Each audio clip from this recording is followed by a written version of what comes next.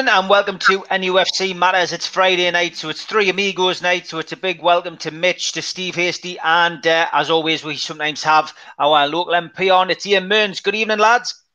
Evening, Steve. It's good to see you all, and uh, it's been a busy, busy week. And as always, there's something usually drops on a Tuesday when Liam's on, or when the lads are on on a Friday.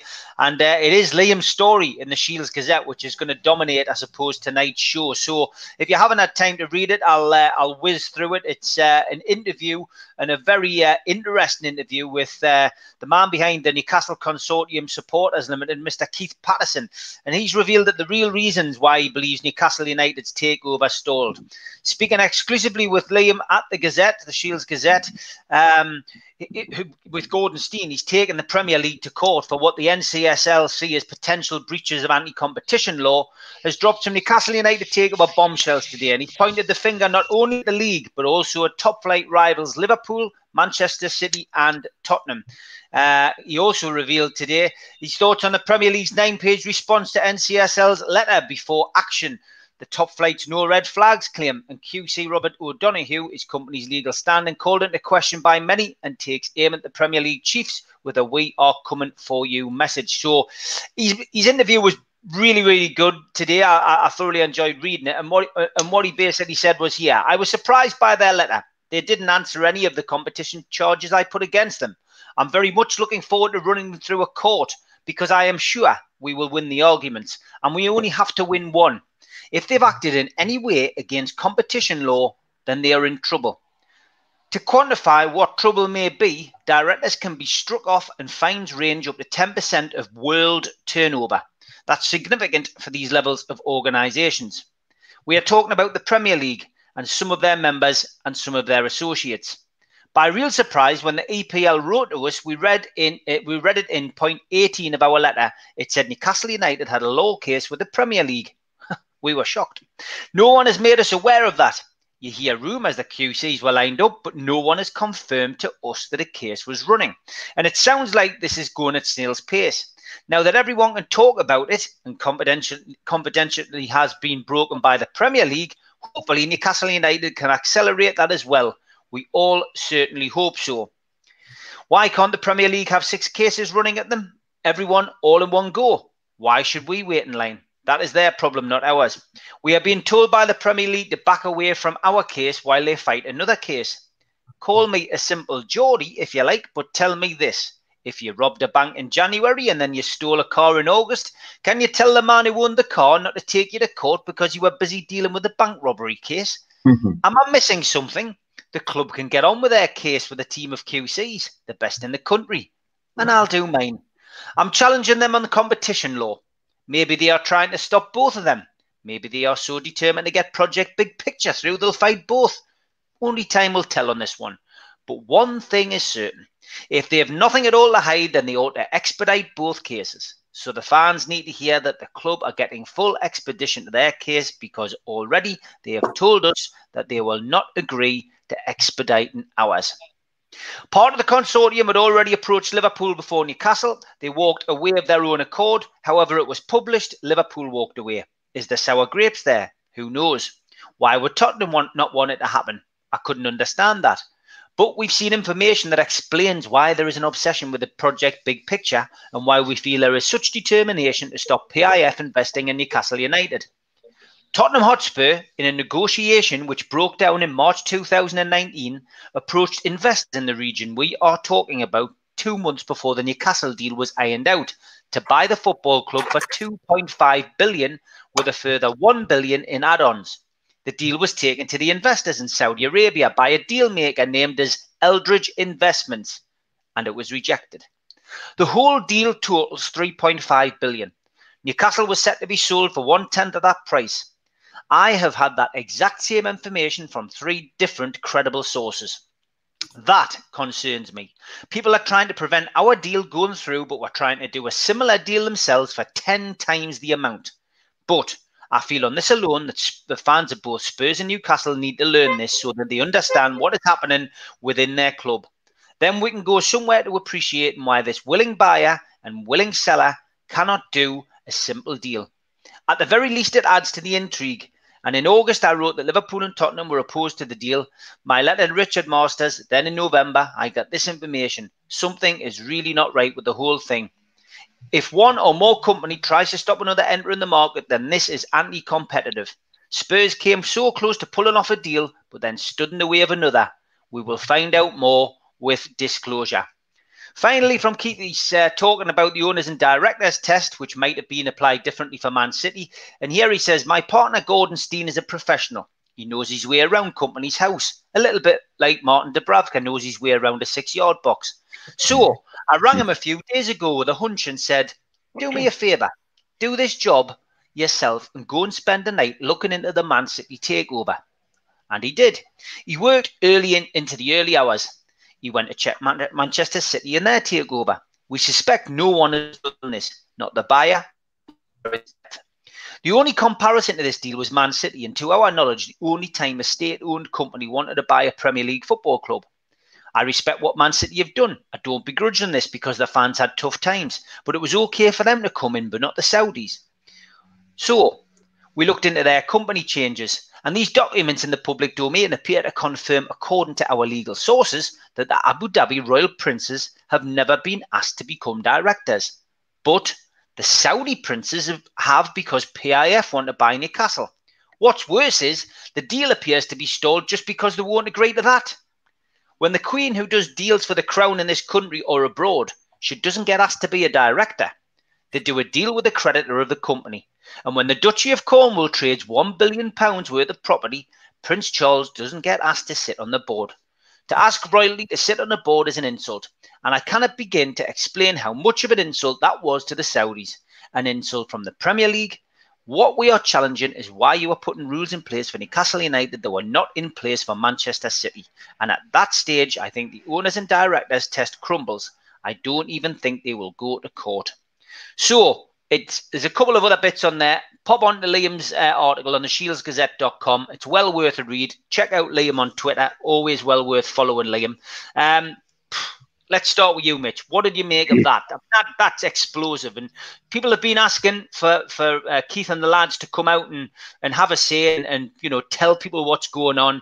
And thanks to the Premier League stupidity by putting this out into the public domain, or someone else putting it out on the public domain by their behalf um, whether that's deliberate or inadvertently, it's proved to be, you know, the straw that's brought the camel's back, but it's also opened the floodgates for, for Keith to come out and spill the beans. Yeah, Premier League aren't having the best of weeks, really, either. Um, I mean, there was, there was already so much to discuss and so much that's come out this week.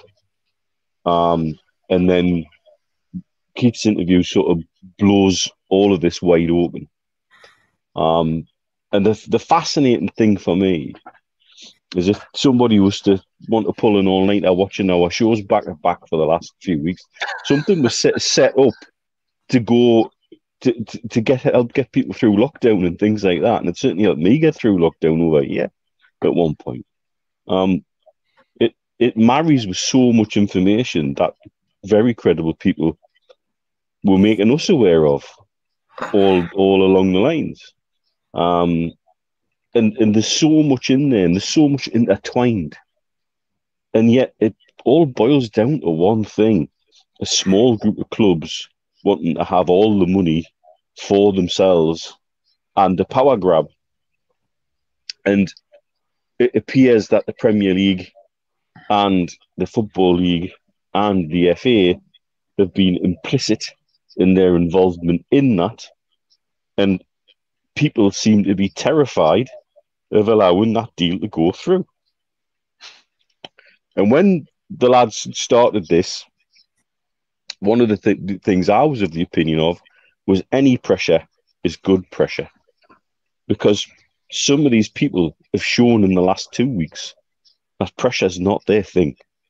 Pressure is not something they can handle. And they make mistakes and they slip or they just don't perform well.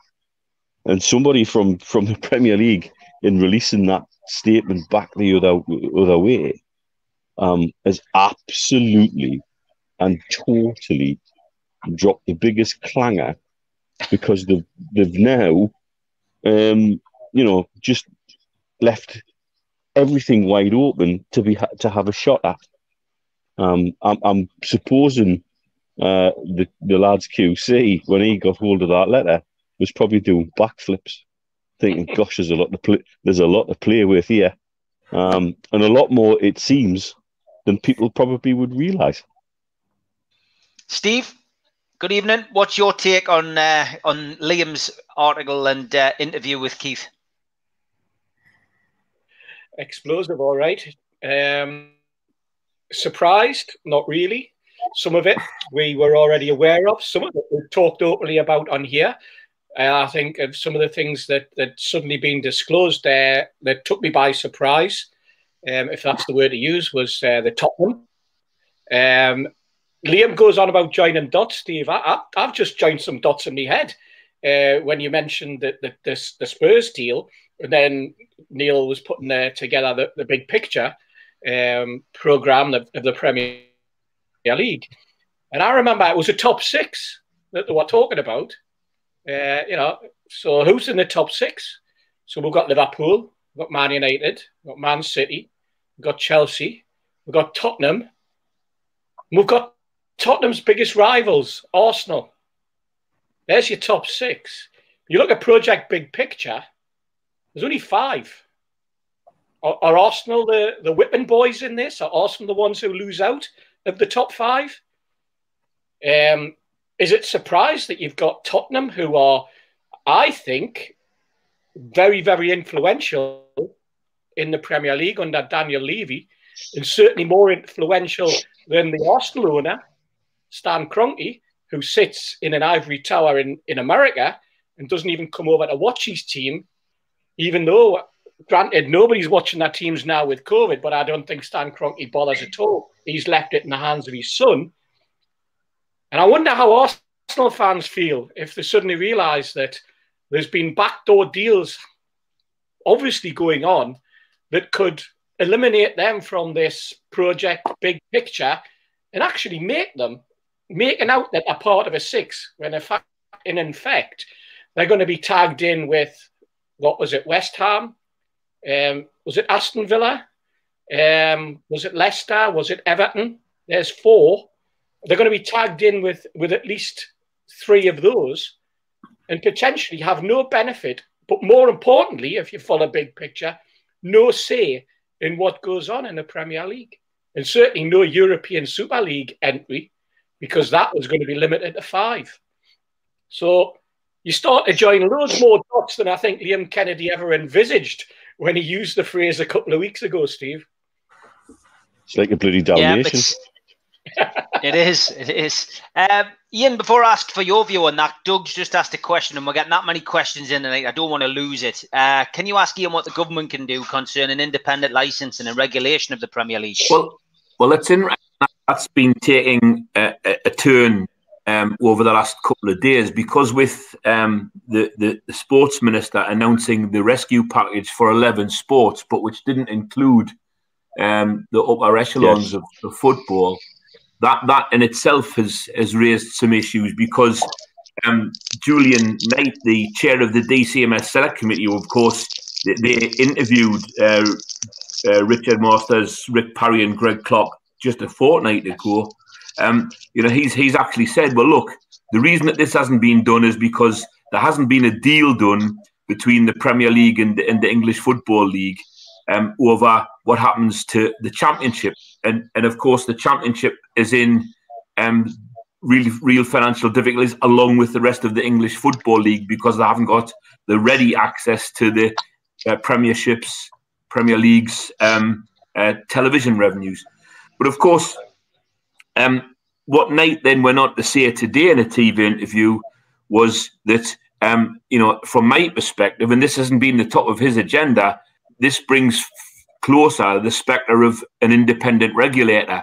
And what he was then talking about, and, and, and this is not a very good analogy from his perspective, because he was talking about the independent regulatory bodies for, for, the, for the financial world, which costs 250 million quid a year and is paid for by the financial markets and companies. But of course, an independent regulator for football wouldn't cost 250 million pound a year. So it's it's not a it's not a good comparison. But he, he, he was raising the spectre of an independent regulator for football. Now, of course, um, a fan-led review of football governance was actually in the Conservative manifesto, and that's why a couple of weeks ago, on, on behalf of the all-party parliamentary group, I wrote to the prime prime minister to remind him of uh, you know the the the fan-led review in their manifesto, particularly in the aftermath of Greg Clark's performance at the DCMS select, select committee. So football's in a mess. It's quite clear the governance is uh, not fit for purpose, and it's quite clear that a lot of the people who've been leading football weren't fit for purpose uh, either. So you know, all of that is is in amongst that. Um, uh, uh, but I mean, this this latest stuff, frankly, uh, doesn't su- surprise me. The only thing I would add about Stan Kroenke, though, is remember he is, of course, American, as are Fenway Sports and the Glazers. So there's a connection there. And the media company that wanted to pay big bucks for a, a European proposed Super League is also American. Yeah. Yeah, exactly. Nathan Thomas has got a question there for you, uh, Ian. Uh, he says an article in the Guardian claimed high-level intermediaries from government are involved, and hopefully a deal can be revived. Have you heard anything on this? He says. Well, I, am afraid to say that um, I, I, am not closely associated with high-level intermediaries of the Majesty's government. You know, bearing in mind I'm a member of the opposition party, and they don't tend to tell us much. I understand, for instance, that um, a, a, group of Northern Conservative MPs had a private meeting with the Prime Minister last week, and one of the topics which they raised um, for, for discussion was fan readmittance to football grounds, which seemed to be a funny thing to be raising when we've just gone back into lockdown. But having said that, you know, uh, chance, ch chances are, uh, are there to be taken. But I would honestly hope that if the government were really seriously thinking about consulting on that, that they would actually have a consultation involving fans groups like the Football Supporters Association and you know the All Party Parliamentary Group for Football Supporters, which would, involve me as well. I'd like to think so. Uh, that wouldn't be guaranteed though by any stretch of imagination. Mm. And, and and and and of course, you know, there is a, there is a possibility that government might be thinking of intervening in this mess. A, because of the mess of the governance that the, that the, the Premier League and the football authorities have got themselves in, and as was witnessed by the DCMS Select Committee uh, 10 days ago. And, and also, we've got the situation whereby the government really are keen on causing up to the Saudi Arabian government. I mean, an arms deal with the Saudi Arabian government is vital to this country, particularly with um, what could be a no deal Brexit looming. Yep. Julie Baker is asking what your take is on Masters and Co.'s appearance before the committee and tellingly the chair's closing remarks regarding wanting to know all communications held between the EPL and the EFL. Well, I, I think that's particularly to do with um, the compensation uh, package that the, the, the, the, Premier League are, are meant to be organising. And I, I think it, it, it is it is notable, by the way, that football is being treated to all of the sports industries and all of the industries per se in terms of one part of the, the, the, the industry having to organise its own compensation package for another part of the industry. That's not happening in any other sphere. That's not happening in any other sphere. And I know that the Premier League's got an awful lot of money by comparison to other sports, but the government are coming in and intervening. And, you know, they've just yesterday spent a package of, I think, 300 million pounds to to rescue football, 11 different sports. Yeah, exactly, exactly. Interesting stuff. Keep your questions coming in. Ian's here till seven o'clock. So if anyone has uh, got any more questions for Ian, then by all means uh, put them across. Of course, we always get a question for you, uh, Mitch, and it's usually what you're drinking. And Neil's got in first, asking what you what, what are you drinking tonight? Milan. Well, from Milan. I, yeah, I found I found some little bottles of Moretti that I forgot I had. So um, tucked tucked in the back of the wardrobe. So I've hid them in the fridge earlier this afternoon. So yeah, it's Moretti tonight. I, I got a real taste for that in Milan. Like, I mean, it went until they ran out.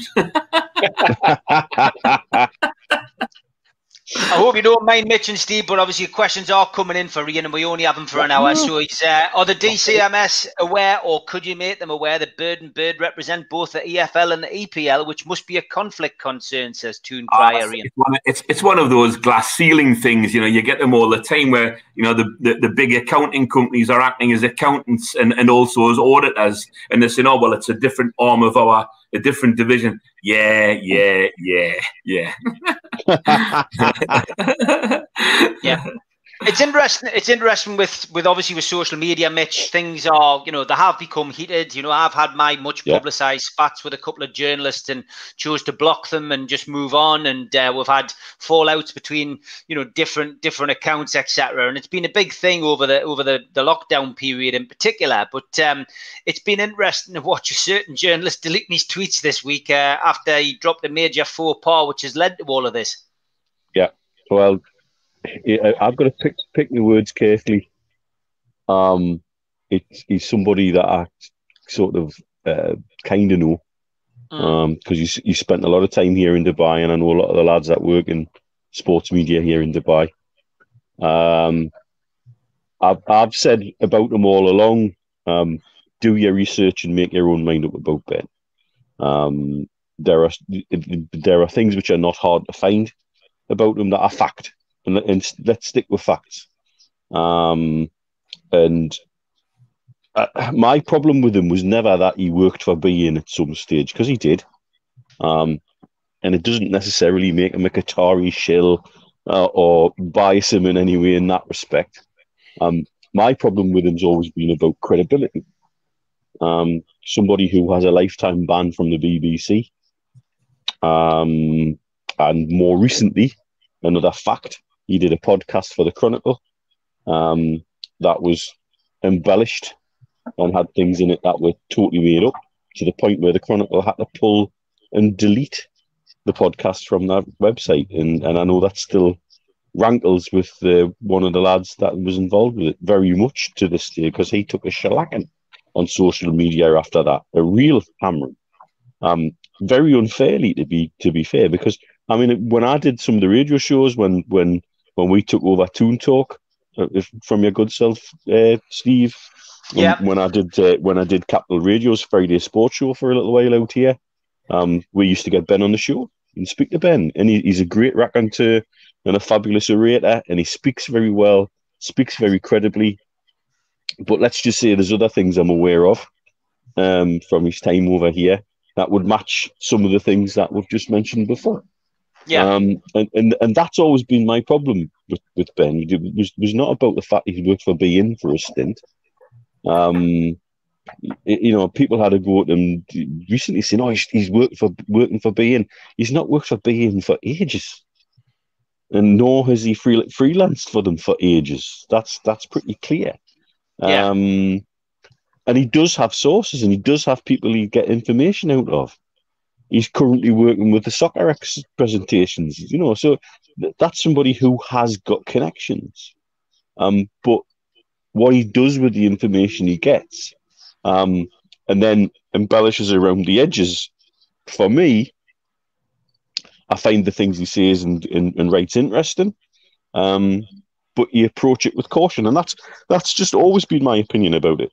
Nothing to do with the beIN angle. Yeah. The fact that the fact that Steve actually called him out the other day, um, and sat him on his arse very brilliantly, I thought, Steve. Um, and then in the next 30 to 40 minutes, he started deleting things. Um, I've been told something else from another very credible source that the, the, the series of tweets that he put out very much read like somebody who'd been briefed on what to say. And I think that's the most damning thing of all. And Yeah. probably the reason why he's gone on a bit of a delete fest.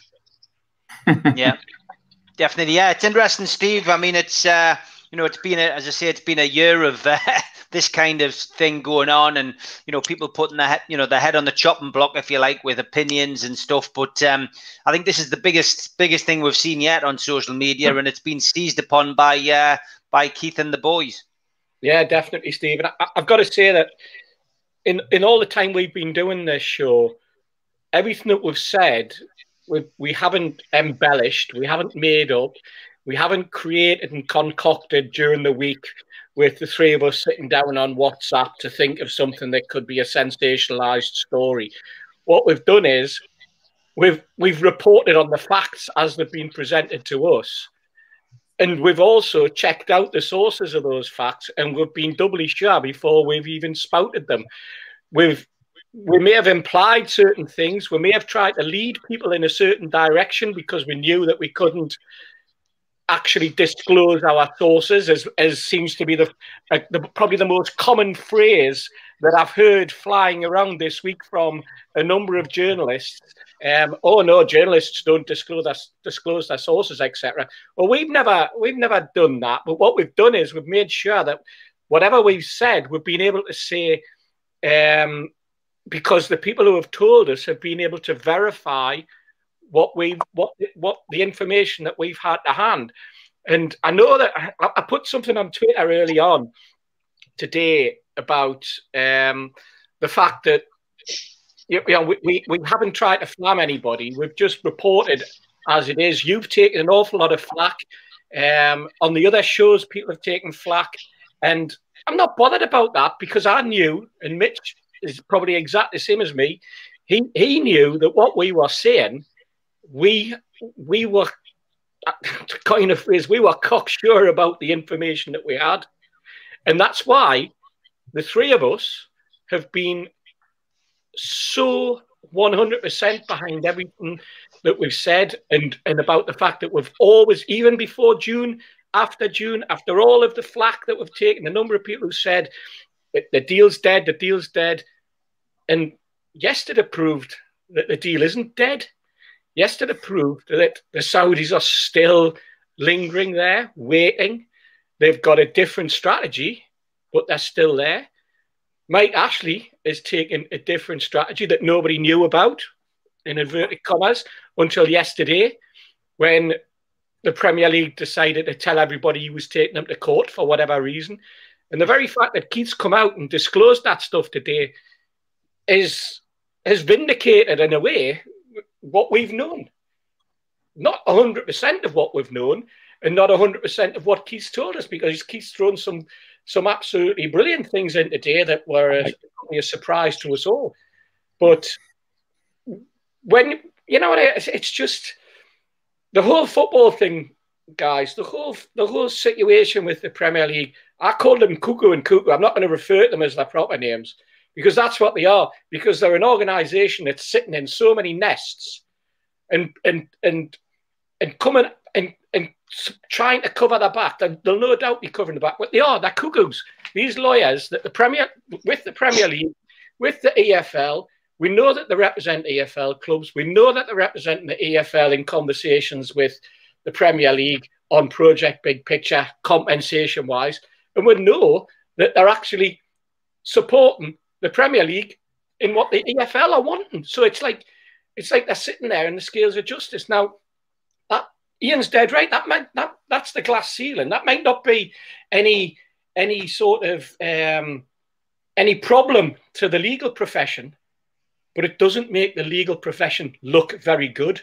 No, and it, and it makes you and I question what the legal profession is all about. And if they had any form of credibility, they'd walk away from one side and they'd start again, and they'd have credible people in the room. And more than likely, that's what's knocked the, the DCMS this week.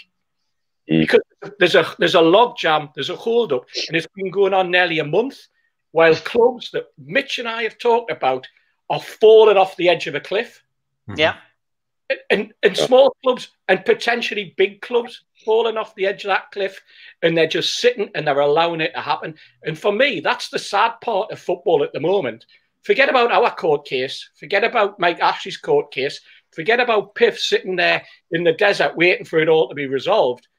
What about what about what's going on, and what about what the EFL and the Premier League, and just as importantly, the head of the EFL, Rick Parry, is mm-hmm. allowing yeah. on his watch. What is that all about? Why is he doing that? What is his motives? You have a motive and you have an opportunity. He's got an opportunity sorted, but he has a motive behind him. Not do I question. Well, well Steve, I, I, mean, you know, I, I don't know this definitively, but there is speculation. So I'll put, I'll couch it in those terms. There is speculation that the way in which Rick Parry was trying to sell Operation Big Picture as the rescue package to the EFL clubs seemed to implicate that he had some sort of axe to grind with the big six themselves, and also with the subsequent announcement about another move towards a European Super League. Now, that's all speculation. Yeah. You know, I don't know what the veracity of it is, but it's worth checking out.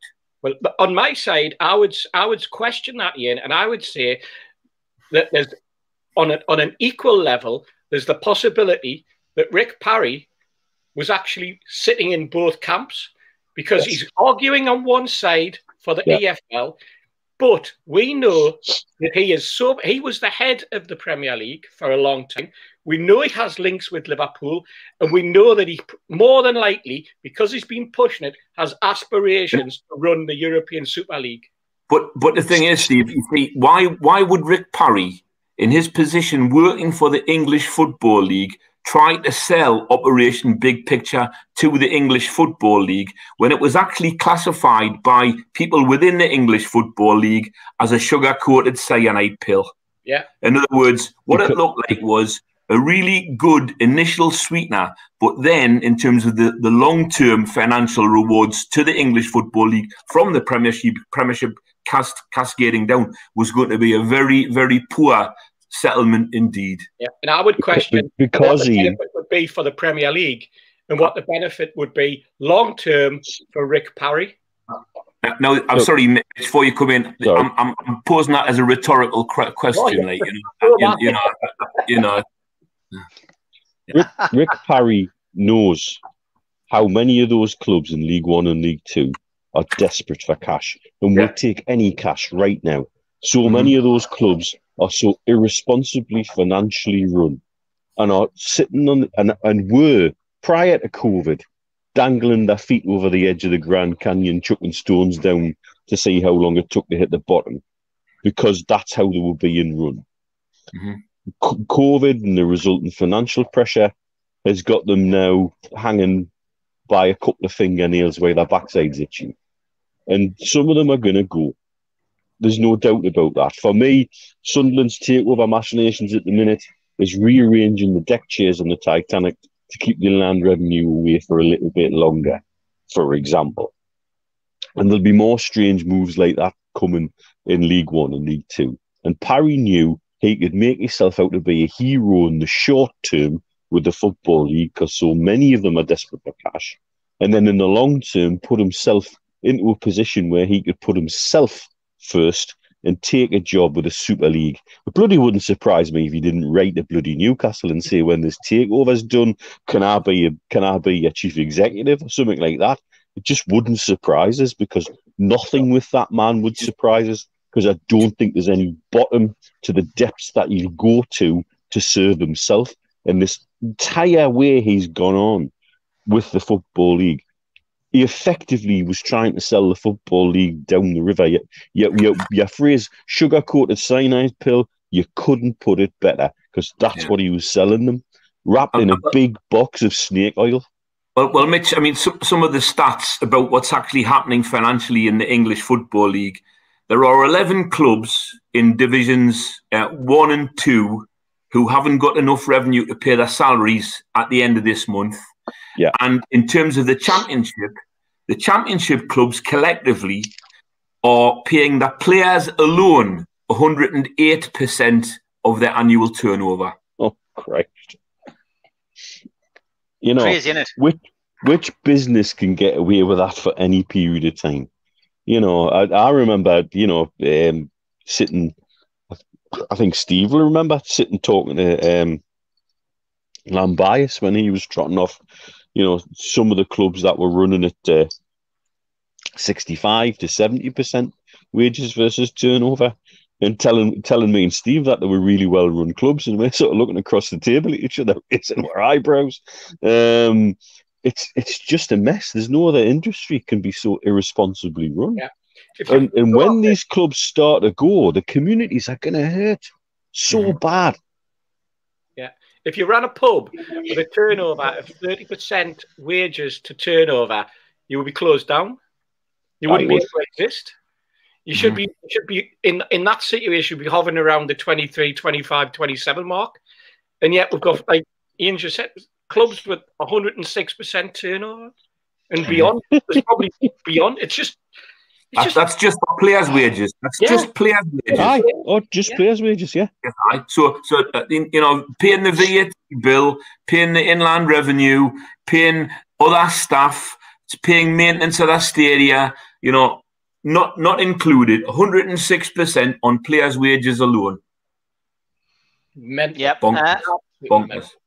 Just want to say a big thank you to our sponsors, uh, newworkwear.com, specialists in the supply and branding of clothing for the workplace. They're sponsoring the StreamYard application this month. And a big shout out to qtechshop.co.uk, the makers of pool tables and snooker tables in Wallsend and other things, including our t shirts, uh, which you can get from newcastlelegends.com. Uh, and you can also get our calendars, which are on sale. All proceeds going to the food bank. And uh, they also knock up the t-shirts like that one. NUFC Matters Join the Dots t-shirt, which is up for grabs on my social media at Steve Wraith. Um, all proceeds going to the food bank. It's currently at £75 and the bidding on that finishes on Monday. So anybody wants to do that, it's pinned at the top of my Twitter at Steve Wraith and uh, you will be able to find it there. Quick happy birthdays to Grant Hanley, who celebrates today, and uh, Paul Robinson, who... Uh, is probably best known for coming on uh, and playing instead of Alan Shearer and Duncan Ferguson yes. in the derby, which were lost 2 1 in the rain, uh, which ultimately saw Ruud Gullit lose his job. So, big happy birthday to them. Paul still lives in the area, still a good lad, and always chips in and plays in the uh, the Pavel Cup at Dunston uh, when we uh, get a chance to play that. And later, uh, I have been talking about this all week. We are the Geordies. Football without fans is nothing, said Jock Stein. This film kicks off on the 11th of December. I'm pleased to say we had uh, a small part to play in helping Zara and James achieve their dream. Um, I've seen one of the uh, the rough cuts of this, and it's absolutely fantastic. Uh, December the 11th cannot come quick enough for me, but we'll be dropping our own personal trailer on the show tonight. You might have seen it on the Chronicle already. We've got a, a slightly different one to show people. So uh, we will be playing that a little bit later on. Um, a lot of people talking about uh, Ian Holloway's uh, interview. Uh, Ian, and he was he was really having a pop today. And I, have got to be honest, I like Ian Holloway. I wouldn't want him to manage our, our football club, Ian, but yes. his in, his interview today was very you know was straight from the heart, and he's that kind of guy, isn't he? He's um you know he gets his message across in, in, in whatever way he, he thinks is you know which which will get as much publicity as possible. But was it was interesting to hear him today, and he's he's obviously very annoyed. He had his hat off at one point, and he was he's saying I might as well do this and go begging for money because we're not getting anything. No, well, I, unfortunately, I haven't seen the interview because I've been looking at the screen all day doing all that stuff. But um, you know, it, it, I mean, I, I, did see him interviewed a couple of weeks ago, and you know, he didn't pull any punches. He was he was really calling people uh, out for for the lack of support that clubs at, at their level were getting, uh, you know, fr- fr- from above. But that position hasn't got any better. And you know, as I say t- today, the chair of the DCMS Select Committee, which is not the DCMS department, but it's just the Select Committee, which oversees the department, um, you know, was having a, a proper go. And but you see, the thing is, I'm not really sure whether the DCMS itself are going to be high enough in government to, to implement a, a, a fan-led review. That is a manifesto commitment from the government, and that's why I wrote the Prime Minister about it. It's his, it's in his department. It's actually in number ten. This that decision will have to be made, I believe. B. Taylor says, "Can you honestly see the government in the guise of the DCMS taking the EPL to the cleaners, Ian?" Well, no, I, I, I, don't. I, I, don't. But but as I say, if they do fulfil that manifesto promise, which I'm told they're very keen to do, you know, the leader of the house said that to me last Thursday. Um, you know, that if it's a manifesto promise, they will fulfil it, is what he said. Well, therefore, if they properly instigate that and properly instigate a fan-led review, well, we'll have, we've got to get get stuck in, roll our sleeves up, and do it properly. Yeah, yeah. Ian Holloway's interview. Did you see it today, Mitch? I've seen bits of it. Yeah. Uh, little little clips chucked around on Twitter. Um, look, like you, I'm I'm exactly the same opinion. I love to hear Ian Holloway speak. I think he's very honest, straightforward. I think he cares about football. I think he sees um, to, to, to I guess, to, to, to use a, a phrase not in quotes, he sees a bigger picture when it comes to the whole football world. Um, and he's always, you know, forthright with his opinions. I loved his loved his Ronaldo rant, for example. That pretty great. I wouldn't like to see him managing our club. Mm. I don't don't don't think he's right for here. Uh, yeah. But you need people like that in football who are prepared to stand up and say, "Hey, no, that's not right." Um, and and and he, he gets it. He gets the passion. Um, I know they still think a lot of him down at QPR for everything he did there, mm-hmm. and, and quite rightly so. Um, so yeah, it, it, it's the kind of thing you would expect Ian Holloway to say, and he's he's proven that he's quite consistent in the way he fe- feels about the game. I, I think there's a lot of people like that in the game still, but we need them now to start to speak up. And what I would hope that does is encourage more people who feel the same way to actually come out and say, "Yeah, come on, this isn't right, lads." The the the, the game itself's now in a place where um, certain things are happening that are just absolutely immoral. Um, and, and and that's talking about a game that's had doubts about its morality since the late 90s mm-hmm. You know, um, it, it's it's we're now seeing a lot of people's true colours, and that's quite worrying because a lot of these people have got the positions whereby they've been able to entrench themselves within the fabric of the structure of the game. Um, and it's quite obvious there's a lot of self-serving benefit happening. Mm-hmm. I'll tell you the name that doesn't doesn't get bandied around at the moment too much, and maybe should be is Hoffman as well. What's happened with him since he came in um, at the start of June? Because he at the minute seems to be getting a free ride, mm-hmm. and he's another one who needs pressed and he needs pressured. Now, whether that's going to come about by things like the lads taking the action, or whether that's going to come about by the club taking action, but again, it comes back to any pressure is good pressure because these guys have proved now for the last two weeks pressure's not that thing. Mm-hmm. Okay, Steve, your views on Ian Holloway? He's uh, he's certainly come out and you know put his put his opinion across in, he, in his own imitable fashion, but uh, I think a lot of people agreeing with what he had to say. Oh yeah, absolutely. I mean, uh, uh the good thing about Ian Holloway, as as Mitch said, is he yeah he puts his heart on his sleeve, doesn't he? He comes out and he says what he thinks. He's he's the sort of guy who you know I think he's I think he's straightforward and honest. Um, he's, he's he's that sort of manager who's in the past has said, you know, I'm not really good enough for this job, so I'll move on. Um, you know, mm-hmm. he, he, he, doesn't. He, he's not that. That's that's a level of honesty that you don't get in football, um, or certainly don't get it very often. Um, and I think that there's an awful lot of people in football could learn from uh, listening to, to, to his experience and and his knowledge and and his forthrightness. Um, the, there's various people like that in the game, though, Steve. There's various people that, that say things that you, that you kind of go, you know, even though I don't support your football club, and as Mitch says, would, wouldn't necessarily think you are the best sort of person for, for running our football club um, as a manager, for example. But I respect your opinion, I respect your thoughts, um, and and you do that because you know that those thoughts have been well thought out they're hmm. structured mm. and that that that open and they've they're considered. They're not just off the cuff. And going back to, to something we said earlier about a reporter, a certain reporter, um, they're not from somebody else's briefing either. Yes. Yeah. And that's yeah. that's that for me is vitally important. Um, so he's come out, he said what he's he said, and of course he spent a lot of time in in the lower leagues as a manager and as a player.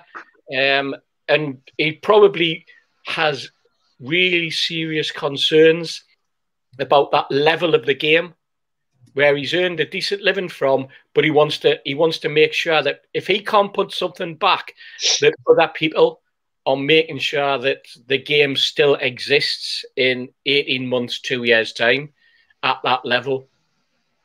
Yeah, yeah. Okay, we've got about 15 minutes of, of Ian left. So I do want to turn uh, to uh, at least one football matter so Ian can talk a little bit about football. Um, we've already put. Uh, Hey, so, I'll meet... Steve, Steve, Steve, count me out. I'm a Newcastle supporter, man. just, just, just want, to, want to talk about Almiron. And uh, Steve Bruce, of course, had his press conference today and completely belittled Almiron's agent for uh, what he said was, you know, he essentially was whipping things up in the uh, the, the, the, press about a, potential move. Um, I suppose the first question is, um, what did you make of Bruce's reaction today? And I know you've been busy, but I mean, essentially, he just, you know, he slated the agent and, um, you know, said that, you know, if it had been Almiron coming and knocking on his door and having an issue, then he would look at it differently. And I suppose, secondly, is is uh, is Almiron worth all this all this fuss really? Because there seems to be a certainly a swing in supporters' views. I mean, you know, a lot of people weren't convinced about him. You know, he, he runs around with a smile on his face, but he isn't he isn't somebody who tends to do that well in front of goal. He had one little burst, but I don't know. The the jury seems to be out on Almiron, and there's not an uproar of people saying we've got to keep him. You know. No, well, I, I mean, I, I, think first and foremost, I, I, think Steve Bruce's reaction probably um, it, it, smacks of a, a, bit of lack of sort of professionalism in terms of managing his own playing staff. Um, you know, I mean, agents are agents, but I mean, you know, I, I think you know you've just got to kind of just regard that as fluff and just put it to one side. You know, because remember, you still got to manage that player uh, and he's he's going to he's going to be part of our squad at least at least until the the January um, transfer window. At, at, the very at, at the very uh, shortest uh, time, um, and and you know from, from his international per- performances, Almiron seems to get picked picked for his national side and play quite well for them. Um, so is he being played out of position, or is he being played in a formation at Newcastle that doesn't suit him? I, I must admit, if I was Almiron, um, uh, and I'd been played in the sort of way that I had by our current manager. I wouldn't kind of enam- enamor me, me towards, um, you know, my retention uh, as, as a Newcastle player.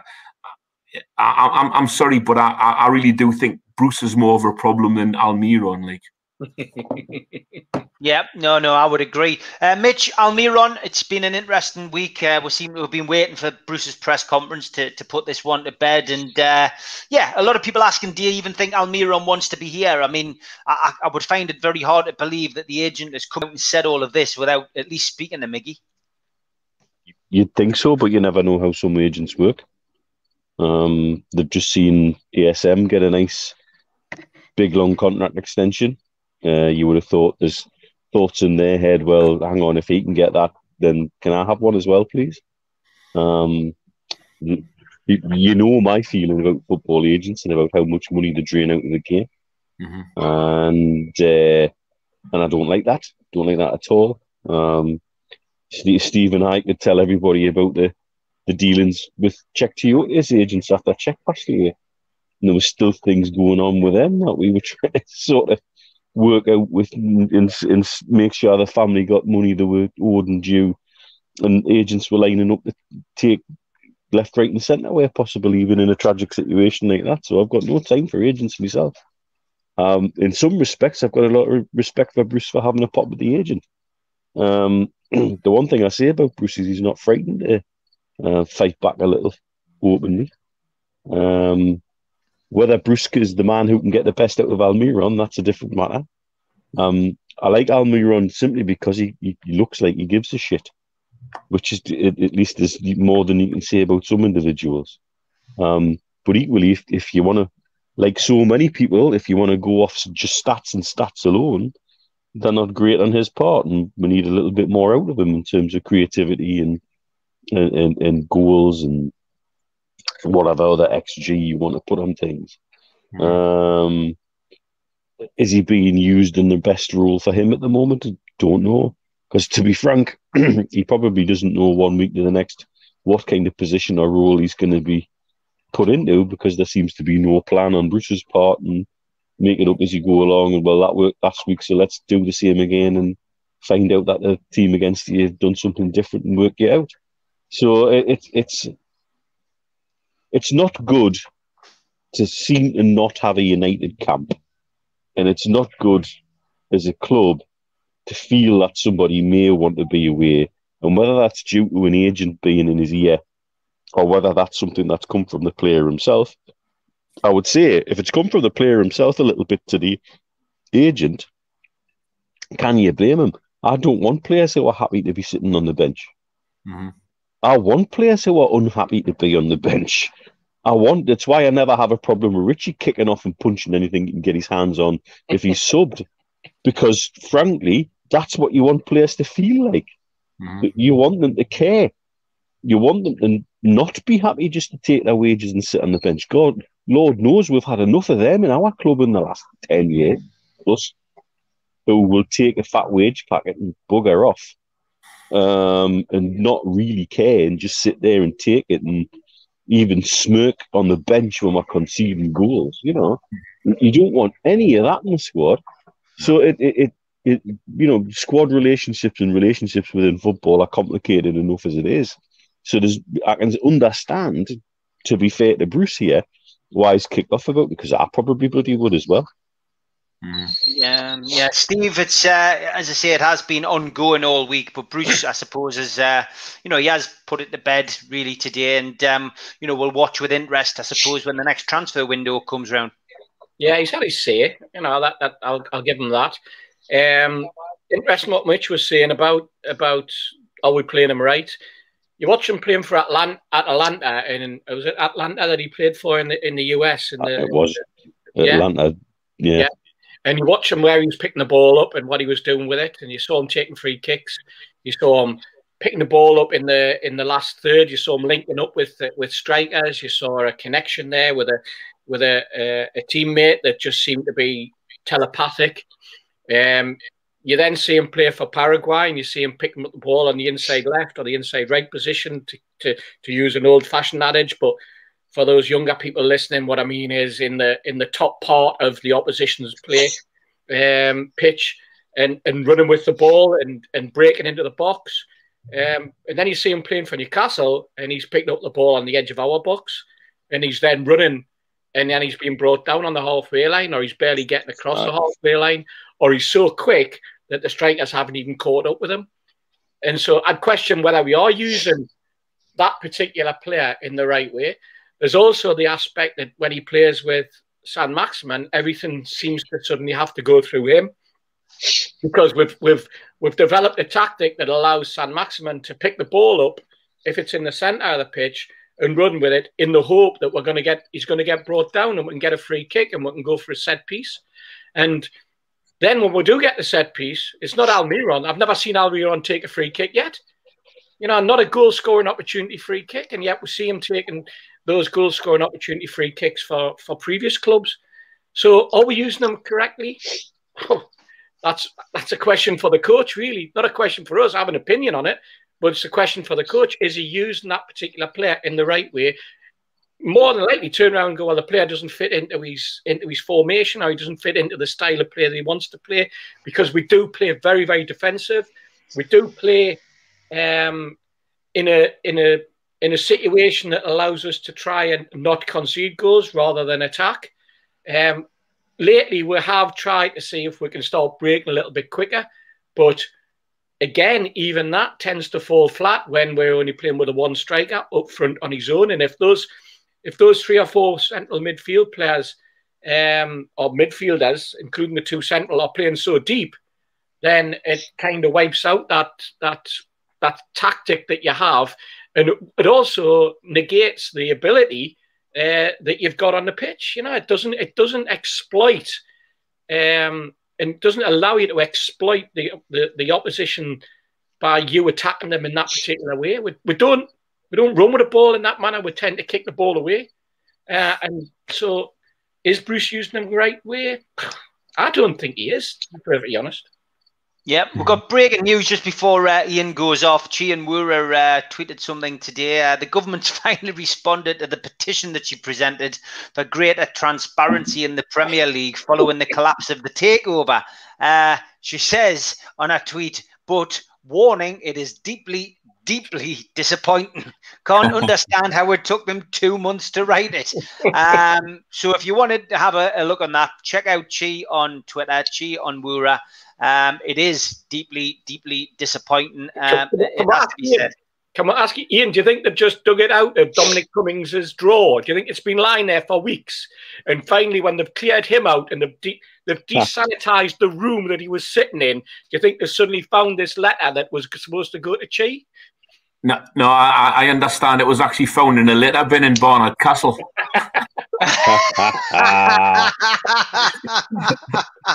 Brilliant. I think I think on that note, Ian, we'll, we'll call it a day. You've always got to leave on a high, mate. I'm, I'm sure you. I'm sure. I'm sure you got a lot to do, and um, Just- it's always always good to have Just- you on. You know. Just before I go, Steve, I, I mean, I know there's been a lot of people on, on the chat criticising agents, you know, and and and and I, and I think this is true the world over of sports agents generally. And I was just wondering if you'd heard the story about the cruise ship where there was a convention of sports agents which sank in the South Pacific. And everybody on board was eaten by sharks, but the sports agents. And apparently, the reason for that was professional etiquette. oh, you haven't just finished on one good line. You've finished on two. You're on a Double roll. You're on a roll. Ian, as always, absolute pleasure to have you on. And I know because uh, you, you know people love it when you come on. We'll have to do one again together, so we'll sort that out. And I know you're going to jump on the uh, the documentary that I'm doing. Think before you tweet as well to talk about uh, a couple of things on there. So uh, big thank you for that. And uh, I'll be in touch very soon, mate. But thanks for coming on. Look forward to having you on again. Well, have a good weekend, lads, and stay safe, everybody. Take care now. Bye bye. Take- take Cheers. Ian. Take care, mate. Always great to have Ian Mearns on. Absolute, uh, absolutely great. And um, you know, thanks for your questions to him as well. He's uh, a politician that answers questions, which is the reason that we uh, will have him on.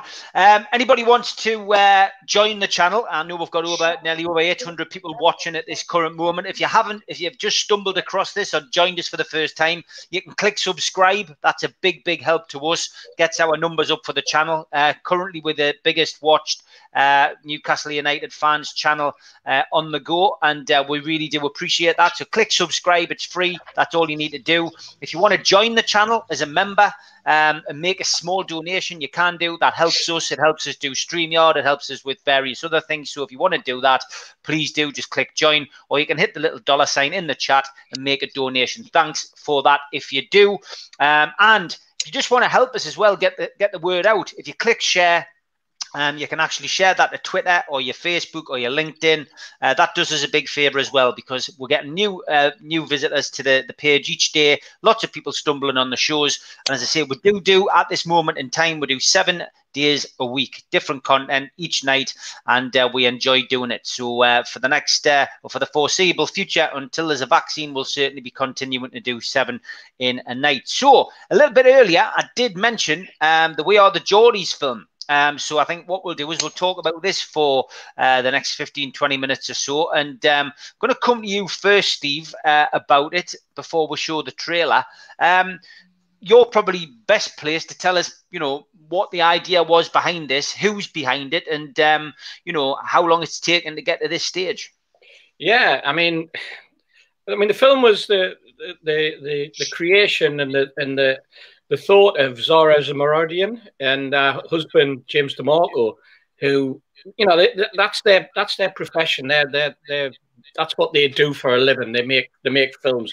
And if anybody's ever seen the film The Stag Do, um, that they produced a few years back, you know, an absolutely classic um, Geordie film uh, which I thought was probably on a par with Purely Belter, if I'm perfectly honest, which, you know, a lot of people um, thoroughly enjoyed back in the day. And Zora came to me and said, you know what, I, I fancy making a film. I fancy making a film about Newcastle United. But not not a documentary about how the you know the, the club operates or anything like that. I'd like to do it from the viewpoint of the fans. I'd like to do it from something different. Uh, I don't want to concentrate on the players. I don't want to concentrate on X, Y, and Z. I don't want to concentrate on the manager too much. I want to do like a love story. I want to show what Newcastle support Newcastle's about. What do you reckon? And I said to her, I think it's a great idea. It's a great. I don't know how you're going to do it. I don't know how you're going to manage it, but I think it's. I think it's fant- a fantastic idea, an embryo that you've got, and let's see. Let's see where it can take it. I, I, I spoke to both you guys about it. Uh, and you guys have been in from the start as well. Uh, to be perfectly honest with everybody, and I mean, Mitch is actually in the film, believe it or not. Um, his ugly mug appears um, at certain intervals, as does our great friend George, uh, George Mitchell. Um, and George was one of the 11 fans that basically what Zara did was decide to, to follow a group of fans through a season. Now, the season, the season that we that we, we chose, or Zara chose, and James, um, happened to be the season we got relegated and we were playing in the championship. So basically, it follows the story of 11 fans and their thought process and what was going through their minds during that particular season. You know, we'd been relegated and we had our first game of in the championship against Fulham, and then it works through and it follows those fans on that journey um, through until the final game. Um, where we where we ended up getting promoted. Not only getting promoted, but winning the championship. Um, a love story to fans is what Zara called it. Uh, to be perfectly honest. Now, if I'm, I have to I have to point out here that this one of the things we persuaded Zara to do was to to get all the fan groups together. Mm. So Zara went out, you know, at our behest, and she spoke to NUST. She spoke to True Faith, the fanzine. Uh, she spoke to uh, NUFC Fans United, which we're all part of, um, you know, as a fan group. Um, she spoke to the lads at Chide Seats, you know, uh, Robbo and, uh, and and Matty uh, and Gaz. Um, just we were producing the popular side fanzine at the time. That was out there. She, she, you know, she had our backing. Taylor and Bestie, who had their own little podcast at the time, she, you know, she she she gathered as much opinion as she could. She did as much research as she could with the fan groups that were around at that particular time, um, or the influencers, if that's what you want to say, or the podcasters, or the or the fanzines and the and the, the content. But she also went to George Caulkin. She went to and she she got opinion from him. She got opinion from Supermark, uh, from Gibbo. Um, there was your fanzine, Steve, that were doing the Players Inc. stuff that we're doing at the particular time, the Nine Bar stuff that had been going on. So it was very much a collaboration, if you like, um, in terms of of get Zara getting the opportunity to understand what the psyche was, and that helped her to pick the eleven fans that you wanted to that you wanted to follow. Um, and I mean, at this point, I'd say that if, if ever there's a lesson to be learned um, as we go forward as fans um, into the next sort of couple of months and, and what we've seen with the Newcastle uh, supporters consortium is that when you get together, you can do some great things. You can do some absolutely brilliant things. And I think when people see this film on the 11th of December, when it comes out on DVD, um, they'll be amazed at, at the passion that comes yeah. across about, and, and I think everybody will be able to take yeah. it in. Everyone will be able to, to to sit there, and everyone will have their hairs on the back of their neck standing up, and everybody will be in tears at the end. Um, tears of passion, tears of joy, tears of the fact that they can remember the same tears that they had when we won something, and, and we lived through it. Um, and yes, there's some, there's some fan groups around now that you probably didn't speak to because they weren't around then. Some of the youngsters that weren't about then. Some of the some of the people are doing some great YouTube content, um, but they weren't there, so there's nobody to ask. But maybe they can learn from that, and they can and and they can see that some of the older generation have an awful lot to say, as well as the, the younger generation who are part of this film. You know. So anyway, the, the, it's taken her four years to bring it together. Obviously, she's she's financed it herself. Um, She's she's she's done a hell of a lot of work. The, the post production took a bit of time, but not as much as yeah. traveling around. She went. There was there was Mick and the guys at the back page who supported them when they travelled on the buses. There were people from SH Travel that support on the buses. There's plenty of fans out there that will have known what she was up to, but probably think it had died a death. But they're going to be pleasantly surprised about what they see. We had great support from the football club. We got access to Rafa. We got access to players. We got access to to to photographs that the club were able to provide us with. We've got there's a little bit of footage in there, but the footage and the, the actual season itself is not, you know, the, the games that were played, that's not the real story. The real story is the story of the fans and how we reacted during that season and what emotions we're going through. And I think that's what's going to make it unique because people are going to expect, oh, it's a documentary and there's just going to be, you know, uh, Roger Tames's commentary over the top of something, you know, as, as we've seen in documentaries yeah. of the past, or a club video, an end of season video. It's nothing like that. It will surprise. I hope it'll surprise. I expect it to surprise, and I hope that everybody sees, especially in this day and age, what we've been going through with not being able to get in the ground, that it gets your excitement back for being inside St James's yeah. Park again, 52,000, and what it was like. This will remind you what it was like, and this will tell you why you want to get back in there, Steve. It's, I, it's yeah. I, I, I personally feel this is Mitch. Before you say anything, I just want to say I personally think Mitch, we will all cry at this, but I, I yes. also think the the emotion of this will be completely enhanced because we can't go to the game, and it's gonna yeah. be it's gonna be very very emotional because we'll all be thinking, God, I missed that, you know, won't we? Yeah. Well, should you'll suddenly when you see it from the the, the, the rough cut bits I've seen and been fortunate enough to have shared by Zara, um, is it will it'll, it'll it'll it's a real heartstring puller because that's what's missing. And she gave me permission to share bits and bobs out in this region as well. Um, and a couple of the guys that have seen it have both have said how wonderful this will be to dispel that lazy myth about what Newcastle fans are and yeah. want.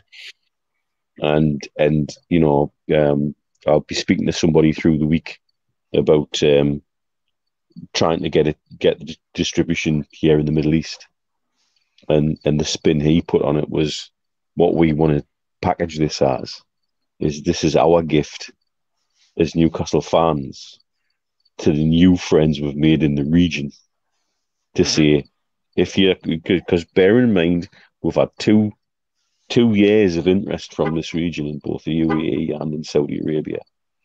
And we've made friends already. This will more than make friends. This this is almost like Geordie ambassadorial stuff for the region because it will take that lazy, horrible myth that we spend far too long trying to dispel because it's easy to say oh, they just expect too much. Really? Watch a film and see the truth about what we expect as fans, you know. And I'm I'm fortunate enough to get my ugly mug in in one trip back home. Uh, when I was back, proud of my dad for giving his thoughts throughout all of it, as ever, in the way he does. Um, lucky enough to be in some small way involved with backing up a project of a really good friend who's literally put blood, sweat, and tears into it. Uh, and the highs and the lows that she's been through along the way to get this bloody thing out. Um, and delighted that Steve's been able to push out that, that final mile to get it over the line to coin a phrase. Um, and I think everybody will enjoy it. Um, and it will bring all those emotions to the surface, particularly while we're looking at St James's Park that is genuinely empty. Yeah. Yeah. One of the uh, things what, who's, well, who's broadcasting it, Steve? Just just take that question well, there. Who's broadcasting Well, yeah, there's going the DVD sales. The, the pre-sales started now, and uh, to uh, Geordie's FF, um, which is Geordie's fan film. Um, on Twitter, you should be able to find a link. Um, Zara's sorting out the uh, the whole distribution system now. Um, what we're going to try and do is we're going to try and do something different. We're going to try watch parties. We're going to try and put put a system in place that would allow a group of you to sit together, remote, but watch the. Um, so you would all get it broadcast to you, um, wherever you are, but also be able to interact with each other and very similar in a way, Steve. Well, you know, perhaps um, not in such broad terms, but some of the like the stuff that you've been doing with the commentary of the games um, or the, the, yeah. the, interaction while the game's being played, but actually while the game's on, people will be able to watch. So it's just we're working on something now with with, a, with, with the technology that will allow us to do watch parties. Um, so that that's going to be interesting. Whether when it comes off, if, if we can get that sorted next week, and we're also talking to a, there's a there's a couple of um, of the media outlets that are going to be putting it out. Um, I, I'll, I'll I'll wait till next week and maybe middle of next week when we're when we're available, we can we can allow you to to then make the announcement of, of what's happening there if it's not already in the Chronicle. Um, yeah. Because it's it's vital that we do this do this correct. And what I would say is as well, people might remember, but when I mean I know it, it sounds ridiculous, but we, we asked people to just send their own fans film in. We said, you know, if you're at the game or if you're traveling away and you and you've got any footage or you want to create some footage, just film yourselves, film your pals, film you at the game, um, use your use your phone, um, film yourself, you know, film the action from the from you know among you when there's a goal scored and that type of thing, the emotion. And we had hours and hours of footage for for poor Zara and James and the rest of the production team to go through. But anyone whose fan footage is in the film will get a credit. So you might find that your fan footage that you submitted four years ago is going to have you getting a credit on this film, and that that that in itself is something that shows that that this is about being a Newcastle fan, and this is being part of something. We're all part of it. We were all in the ground, or we all got excited. You know, if if we couldn't actually watch the game live, but we watched it on TV. If we couldn't get to some of the away games during that season, but we you know, we lived the emotion on on the radio um, with with the great commentary from BBC Newcastle, which covered every game, etc. So you know, that that that love story that that that that embellishes what we're all about, Steve. You know. Yeah, it does. Well, let's um, without further ado, let us play uh, the the trailer, which we've been kindly sent by Zara and James, uh, just to give you a little taste. For me, I say it's a challenge more than a problem because uh, you have to perform, you have to do well, and for our player, it has to be the same. So we have to go there with the idea that this is a normal game, try to get three points, but the atmosphere will be so hot that uh, we have to enjoy more than uh, have problems with that.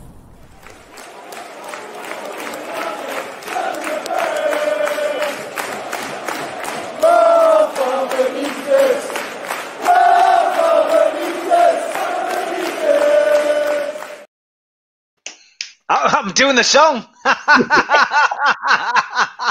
oh God, that that and I've got it's no not a love story to Rafa, by the way.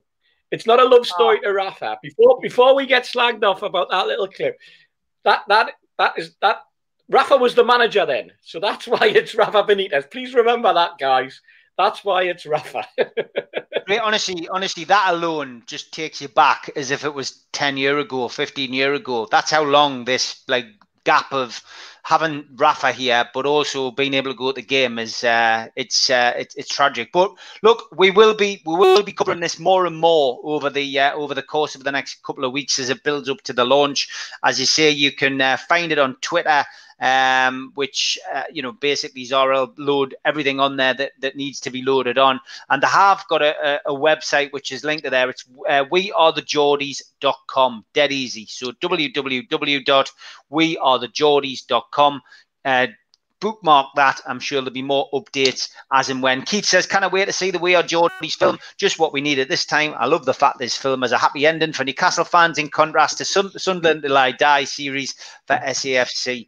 Uh, Dave, I didn't ignore your question. I will come to it. Steve, given your documentary on trolls, what's your view on Priti Patel? Boris not sacking her effectively says to bullies, trolls, and cyber bullies, it's okay as long as you don't mean it. I say sorry. Yeah, I that with interest. And to be honest, when you start covering things like this, um, you know, you, you do start to hear more and more about it. It's it's weird when you when when you get your teeth into something, but um, I'm a man of my word. If I put myself into something, I do it. Had a very very productive week with the documentary. Um, estimated date of dropping that documentary onto YouTube and Amazon is going to be the 15th of December. It will be free. Um, we had a very uh, a very positive week. Uh, conducted five interviews this week. Um, some of them online, some of them face to face. Interviewed a couple of uh, well-known people on Twitter um, who have abused and been abused. I would say is probably the right thing to say. And um, you know, basically, it'll be up to the viewer to decide what you know what they decide from from watching it. Um, we've interviewed a school teacher from Sheffield and big Newcastle fan, Zubair, who um, is, uh, is is a Newcastle fan, has been since '95. He talks about the uh, you know the, the, the, children at his school and, and how the, how social media affects them. Uh, we've spoken to another guy from Scunthorpe who set up a charity for mental health. Um, he's he's on the documentary uh, talking again about being trolled and cyber abused himself after setting up something as positive as that. So, um, yeah, it's a couple more interviews to go, and uh, once we've got them done, it'll be down to the edit. But uh, we're expecting it to drop before Christmas, and that will uh, be uh, uh, you know be interesting. I think people will enjoy it. Uh, as for me, things have calmed down. Uh, I did put me con- I did put my account on um, on lockdown, if you like, for uh, for a week just while I was getting on with the But um, thanks for everyone's inboxes, messages, etc., and uh, positivity on Twitter. It's much appreciated, and um, you know we will just move on as I say, it's part and parcel of it. And as I've said many a time, it's something I should have trademarked. When you put your head above the parapet, you're always going to get the negative. You're always going to get the negativity. It's nice to see other people trying to use that phrase now and uh, pass it up as their own. But um, I suppose uh, imitation is, is a, it's a bit of flattery, isn't it, uh, Steve? I suppose it is. It is absolutely, Steve. There's nothing like being imitated and and and you being flattered by it. That's all I'll I've seen say. a seen a bit of that this week. Um, whether it's um, you know whether it's words or whether it's uh, things getting done, but uh, I'll leave that there. Dave Havery. Um, so obviously your point on Priti Patel. Yeah, for me, you know this isn't a this isn't a politics show, um, but ultimately it doesn't send the right message out. It it, it clearly doesn't, and um, you know I think Boris has probably got uh, you know too much on his on his mind with uh, the pandemic to to have to want to try and even attempt to sort that mess out. But he he does everything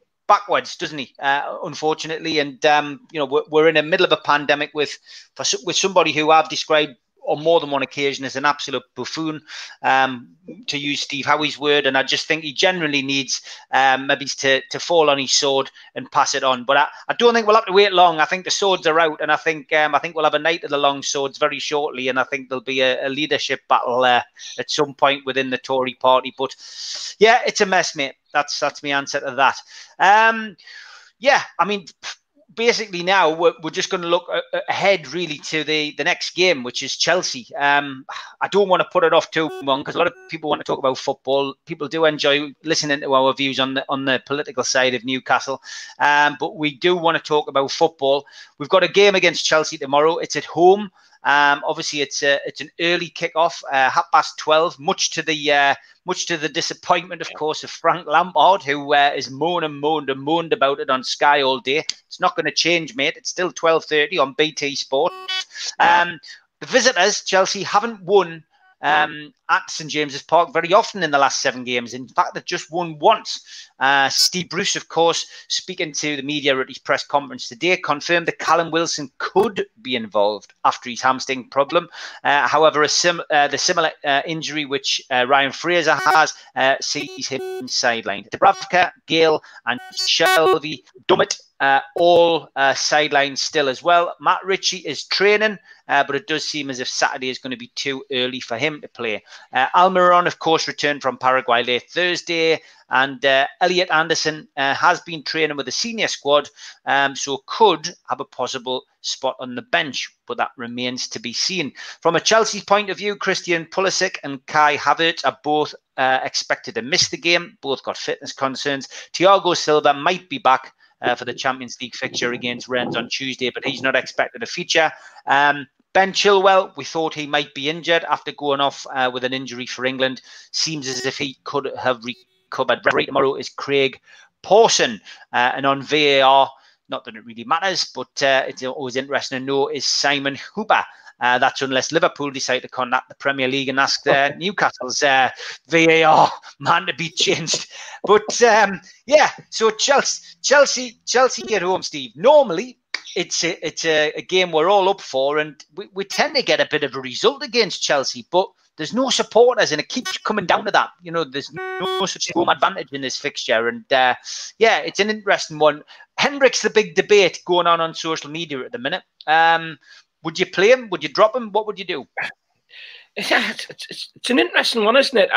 Who are you going to drop him for? What, what what lineup are you going to get?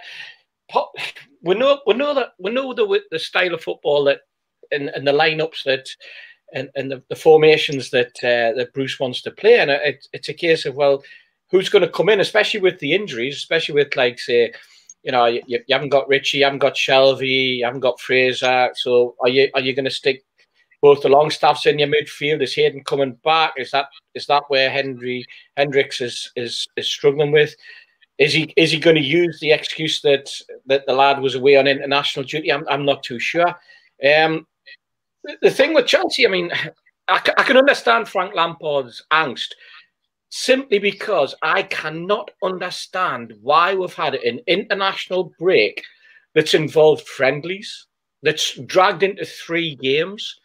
That and the way well, you used to have an international, and it used to be Saturday and a Wednesday, and that was it. Now we've got them on Friday nights, we've got them on Sunday afternoons, we've got them on Thursdays, and so it goes on. And it and all of a sudden we've now got this to, to to get the Nations Cup in, to get the European qualifying in, and then stick a friendly in because you've got nothing else better to do. And I, I just, I just think that you know, in in in this day and age, that there's, there's somebody has to look at this whole international saga of of dragging players all around Europe and all around the world at the same time to and, and really, you know, come up with a solution because the, the, the way that it's happening at the minute, and, and it's no wonder. And one of the byproducts of it, Steve, is that we'll suddenly end up with the likes of Guardiola and Klopp to some extent, and certainly Frank Lampard and others demanding five substitutes instead of three, and demanding nine on the bench instead of seven, and using the fact that the players had a, a shortage of of pre-season, so that means they're getting injured more. And then the same managers don't use their substitutes, so they kill their own argument. It's mental. Football, football's gone crazy.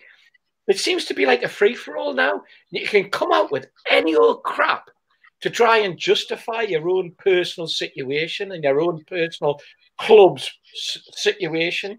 And you know, one of the things I would scrap at a stroke would be having to stick managers in front of a camera a day, like a day or two days before a game, to come out with the same rubbishy eulogies about the opposition. And and you know what benefit does it do to hear Steve Bruce telling us like what a great team Chelsea is, and Frank Lampard telling us how he respects Newcastle United, or respects the manager of Newcastle United, um, or Jurgen Klopp coming out with some sort of eulogy about Manchester United that nine times out of ten, the Liverpool fans are sticking their fingers down their throat when they hear it because they know it's just being said as a platitude for the TV. It's just to fill five minutes and to give people the likes of, of uh, Jim White and people like that something to talk about on Sky Sports. Just you know, this is where football is gone for me. This is where it's wrecked. This is and this is what's ruining it. This is what's ruining it. Go back to honesty. Go back to saying absolutely hate Chelsea. Go back to saying absolutely hate Newcastle. I hate Man United. I hate Liverpool. I want to scalp them. I want to kill them. I want to destroy them. Instead, you get there and it's like, oh, I think they're a really good team and I think we're going to struggle against them today and all that crap, you know. Um, I respect their strikers. I respect their midfielders. Ah, just does me head in, Steve. Rant over. You're on two rants now. I know there's a there's, there seems to be like a little side school of bets going on. How many rants you'll have? I think somebody took four earlier on. Mitch, um, yeah, I mean, you know, the, the Hendricks debate continues. It rolls on. We seem to have this every week. My big concern, and it's a big concern of everybody in the chat, is Callum Wilson. Is he coming back too soon? Is Bruce playing Russian roulette with our biggest chance of getting goals this season? That was the one thing I was going to talk about straight away when you know we're talking about right at the start. Is he's not got a good record of bringing players back with hamstring injuries just a bit too quick. Yeah. Uh, see also ASM, see also Andy Carroll, etc. See also Paul Dummett. You know, um, it, we don't seem to manage hamstring injuries well at all. Um, and players can say they're ready and say they're fit, but I think any player, if he feels that he's got a chance to play, will want to play.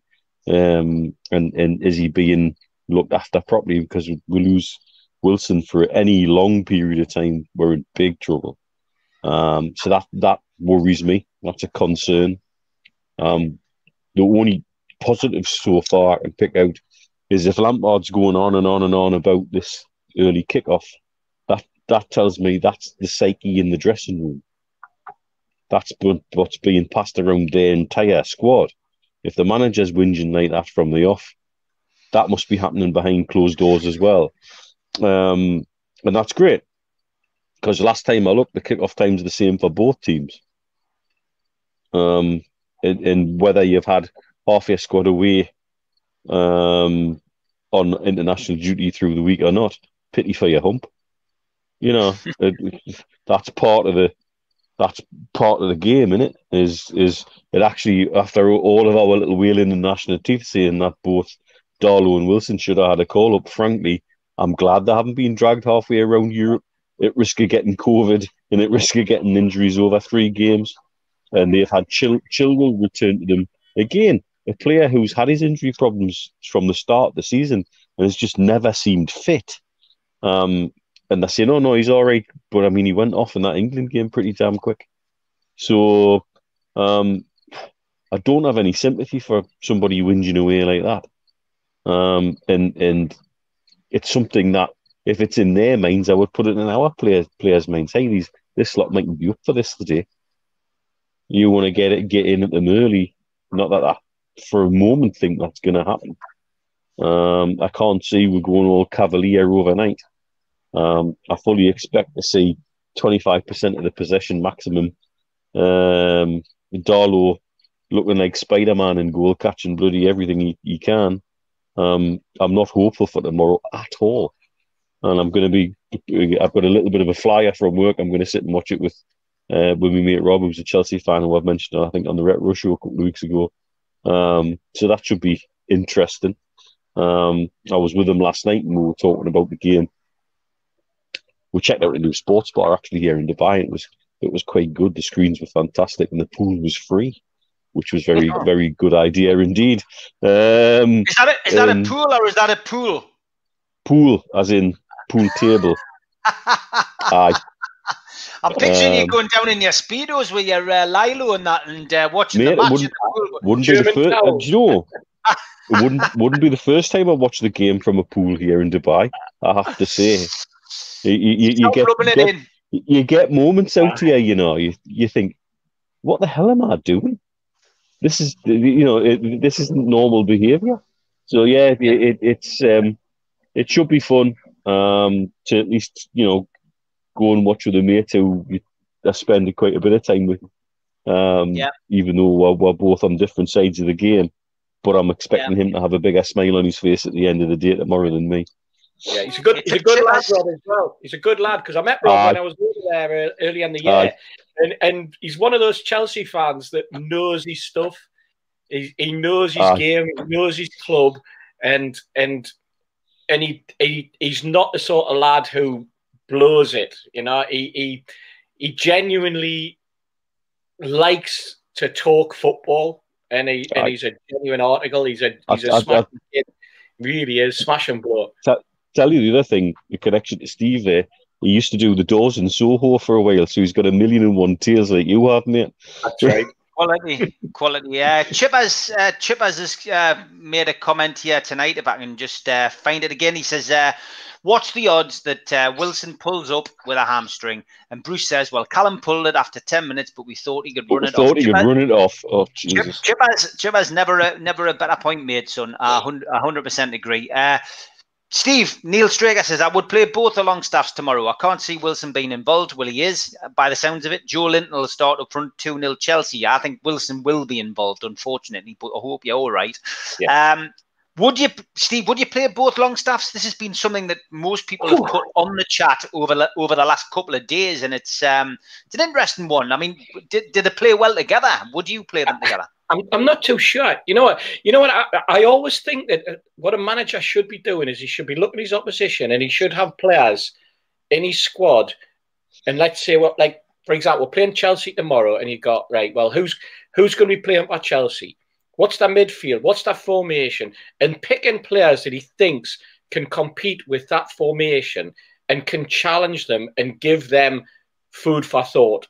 You know, and I, am not. I, I always think it, it, not necessarily. I'm not seeing horses for courses or anything like that.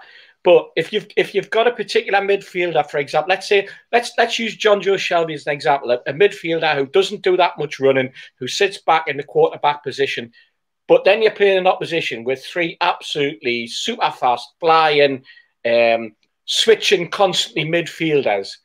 Would you get the best out of Jonjo Shelvey when he's competing against those? Or would Jonjo Shelvey be better when he's playing against a, a, another central midfielder who also sits deep? You know, is he better when they when they're playing Kante? Is he better because they're playing Kante? Because that eliminates and they they always play with four three three. That's the formation. No, sometimes they'll they'll switch to a three at the back and he'll have he'll have five across his midfield, but it's not really five. It's he's he intermingles, and I think the, the thing with Lampard is he's not too sure what his formation is. I mean, we've seen them play very, very well, and we've seen them play shockingly poor. Um, tomorrow, eh, well, the first question was can can the two Longstaffs play together? Well, they train together, so there's no reason why, coaching wise, you can't have um, a particular way one player's going to play in a particular. Just because they're brothers doesn't necessarily mean because they're not they're two totally different footballers. You know, they're two, they, they play a totally different game, but just because they're brothers doesn't necessarily mean that they, they can't play together. Um, you know, I, I kind of play with our Jed because he's rubbish and I'm good. You know, and that, you know that's that's because I know he's watching, so I'm just having a little think about yeah. You know what I mean? It, it makes no difference that, that the fact that they're brothers. Um, what what I'm saying is that you have to you have to Bruce has to be picking a team. He has to be looking at his opposition, and he has to have a tactics that can beat the opposition. Not just go out there and go right. Well, let's see how we get on. You know, let's see how we get on. Because by the time he comes around to change it, when the let's see how it's got on has failed or is failing, it's too late to change because like you're two now down or three now down. You know, so uh, that's the part. I mean, I, I, I don't mean to criticise unduly because that, that's not what it's about. I, I think that I think that we've got a style of football that he'll not shake from you know, and I think he'll play the same style of football tomorrow as we we all anticipate, regardless of who the personnel is. You know, we'll play deep, we'll try and break, but we'll not have the cohesion to actually make it look very good, and we'll get through or we'll get hammered, and then we'll we'll use the we'll we'll look back and go, there was an injury, there was a sending off that cost for the game or whatever um, will not be hanging on for grim death towards the end. You know, I, will be amazed if that's happening. You know, uh, because yeah. we haven't got the quality. We haven't got the quality uh, to manage it. Last season was great, wasn't it? I mean, that that you know, I take them to nil nil, gets the ninety fourth minute. You get the, the, the cross comes in the corner, it breaks. The cross comes back in. Hayden's there a glancing header, the glancing, the most glancing of headers you've ever seen. And, and Hayden was surprised he even came to him. It's in the back of the net, and there was nothing they could do about it. You know, that's that's is that what we're going to get tomorrow? I'd be amazed if it's nil nil and we get to the 90th, 94th minute, to be perfectly yeah. honest, and we get a corner. Mitch, what do you think about the Longstaffs? See, I've got a slightly different take on it in terms of if two professional footballer brothers can't play together, then that's a bad thing. For me, they, as pros, they, they should know each other and know each other's games very well. So if they can't play together, there's a there's a problem. But is that a problem with system? You know, Sean seemed to make a real good uh, case for him being in that number ten role last season, um, and and Matty certainly has the potential to carve a role out in the centre of midfield. And when people are talking about Hendrick, would, would putting Matty in for Hendrick be any worse? Um, for me, the biggest problem is what system is going to be in place if there's a system. What eleven is going to take the take the take the field, and what formation are they going to be asked to play? Because there just isn't any plan. And you know, if we had a rigid plan or had a way that we played and we had a set system instead of this, you know, names in a hat positions on a on a on a dartboard selection policy that we seem to have. That then you stick with it for the next week if it worked last week. It's just absolutely um, clueless on that part. So when you're bringing players in there, do they really know what they're being asked to do? has there a system being applied? And and that's my biggest issue with it all at the moment is that we're not playing good football. We're not good to watch. Our possession stats are low, and it seems to be making up as you go along in terms of system and position. And and so bringing two young lads into that, well, certainly in the case of Matty, a young lad, I don't think we can say the same Sean these days. Um, we're certainly bringing people into that system and then expecting them to to to produce miracles is a real problem. You know, um, the only only only one that you can uh, uh, sort of say um, that we're going to expect is we're going to expect to have a very low percentage of the possession.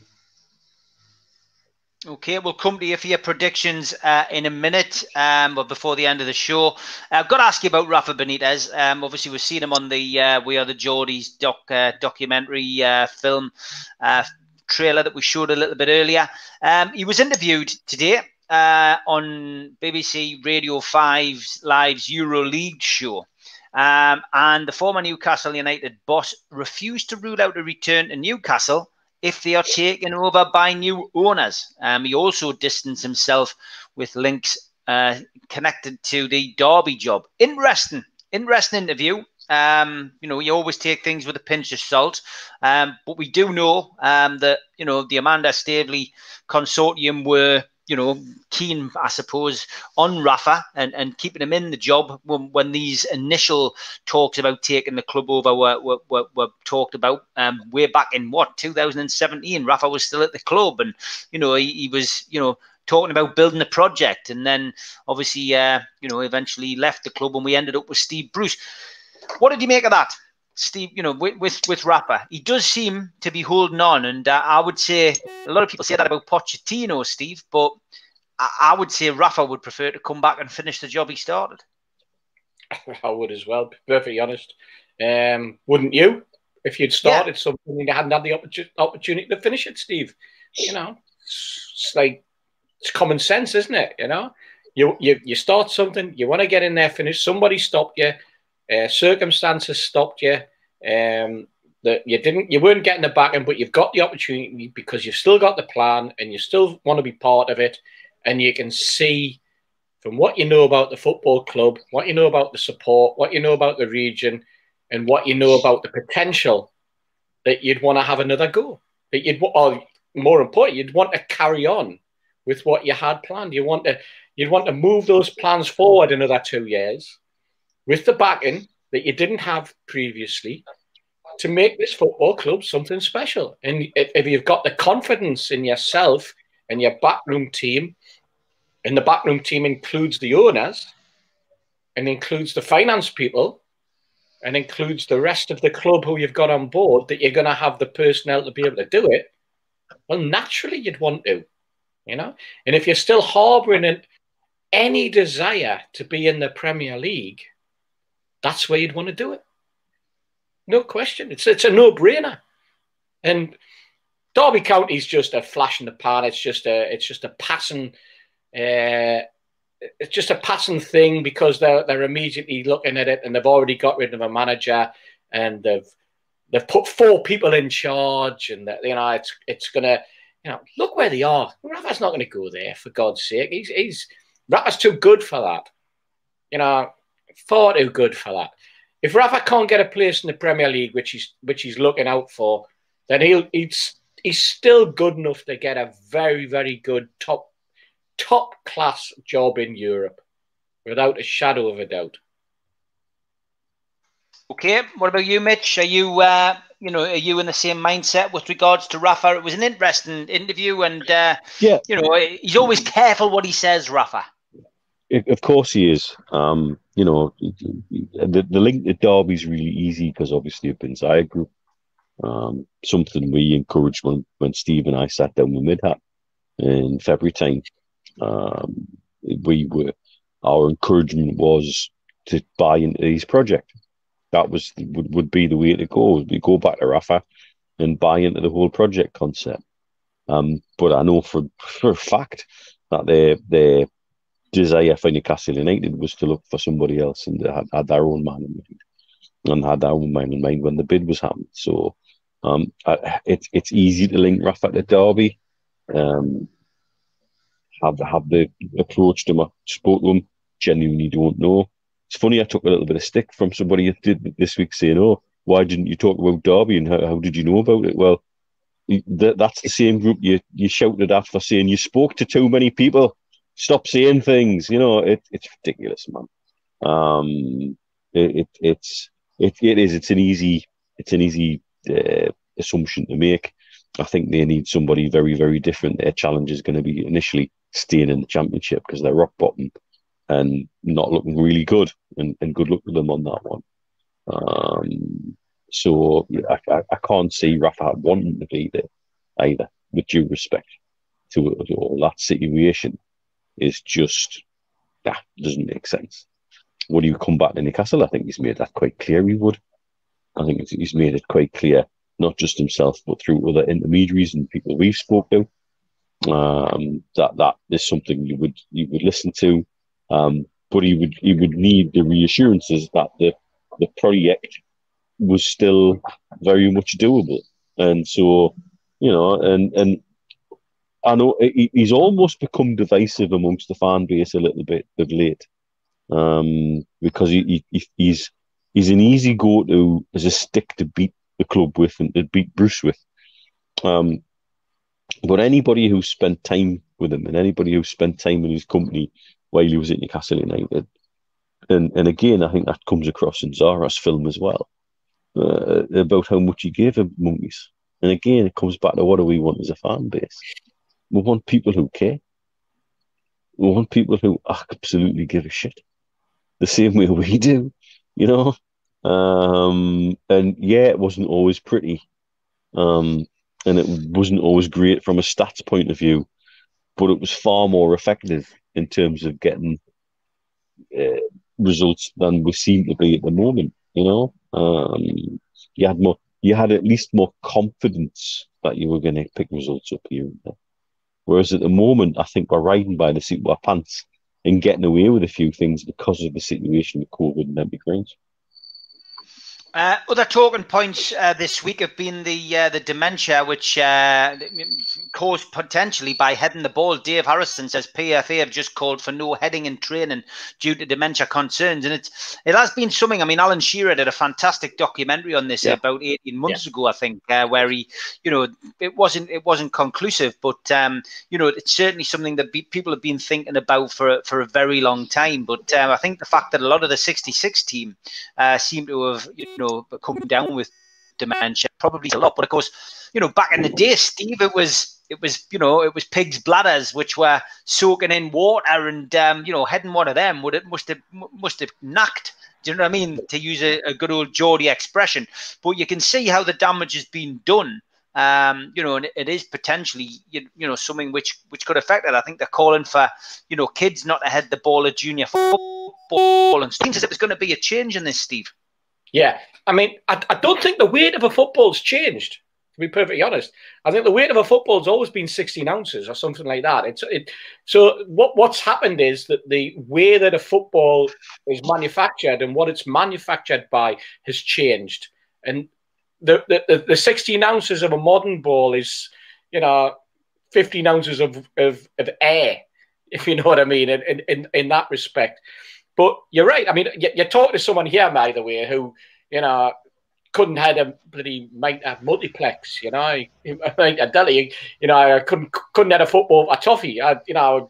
I, whenever I, I shut my eyes, me, I, I was an eyes closed, head the ball, and there's plenty lads out there who are probably now going to come up on that lane I can think of at least half a dozen of my mates who are immediately going to latch on and going, "Yeah, you're dead right. You were shit at that. You couldn't head a ball or toffee. You know, you didn't just close your eyes. You put your hands over your head like that as well. You know, because I just couldn't do it. I just wasn't me. You know, I just couldn't head a ball. I remember standing in the in the garden with my dad as a kid, as a seven year old, with one of those leather footballs with the with the the, the laces up the side you know, in 1966, 1967, and him throwing the ball and you heading it. I've got photographs in the house, you know, of that on the old slides and stuff like that. But they were heavy when they got wet. the, I bet you they weighed an awful lot more than 16 ounces. If that's, and, and I'm I'm pretty sure that was the official weight of a football. Um, because they were once they got wet, that was it. They became almost like a medicine ball, you know. Um, and I think as well the training, you know, and, and, and it's interesting that. But but I must say, I think that I think what the PFA have, have come out there that that statement that, that that's obviously appeared is a little bit half-hearted because Gordon Taylor has reeled back on anything to do with dementia, investigations of dementia with footballers, uh, the situation with Jeff Astle, the way that they've kicked it, he's kicked it into the long grass for whatever reason, and I don't know what the reason's been, but for it to suddenly, for to suddenly come up with what I think, what I consider to be a half-hearted statement, um, or just in training. Well, once you're not, once you're not learning how to head a ball in training, then that's like sort of you know why didn't why why isn't the PFA coming out and going well we'll do it in the game as well, you know? So and I don't like Taylor. I don't like him. I don't I don't I don't respect the man. I I don't respect the way that he's gone on with the PFA over the years. I, it's just something about him that that just has alienated me to him. But mm. PFA themselves need to take a, a strong look at the at the way that he has held a grasp on that organization for what 40 years now you know it's almost been you know it's like sort of how can i describe it uh, the pfa by gordon taylor you know if it was if it was a if it was a book that's what you would call it because he's he's he's he's it's basically been his fiefdom you know and, yeah. and what says goes, and that that's not the way. It, and remember, the PFA is a trade union. It's the union of footballers, whether you're in the, you know, the Division Two or the Premier League, whether you're an international or you're playing and, and struggling on the breadline. This is your trade union, and they're supposed to help you and they're supposed to support you. And they're supposed to be there afterwards and provide that after support and I can understand, uh, and I, I, I watch with and, and read with with interest what Jeff Astle's daughter has done, and then you look, as you say earlier on there, about the the '66 team and the number of people who have gone down with dementia and the struggles that their families had. Um, great, great footballers, Martin Peters, yeah, Nobby Stiles, absolutely shocking. And if this was America, and we know that, and, and, and anyone who, who, and Mitch is the expert on this, by the way, not me, anyone who's watched American football and understands what that particular topic has done for that particular game, um, the Premier League's in for, a, or the Football League is in for a massive, massive. I'm, I was going to, I was going to use a word there. I was going to use a phrase that probably I shouldn't do. A head F it, because it's it's it's going to explode on them yeah, if they don't sort this problem out now. Quite frankly, Mitch knows exactly what I'm talking about when it comes to the American football. Yeah, well, exactly. And and other sports. To be fair, um, there's a fellow of the European Academy of Sports Dentistry. Um, I can I can tell you the stuff that we've been involved with in terms of head injuries across multiple sports. Um, American football's obviously one close to my heart because I played for six years, um, and I love the game. Great game. Um, if you look at the extensive concussion protocols they have now, and the research they have done into head injury, and the links between head injury, um, concussion, dementia, and other other um, brain-related diseases, um, and your sport, Steve, boxing you look at yeah. the, the, the, the, head injury, you know, the, the protocols they have for brain scans and head injury in boxing now. Go to rugby union.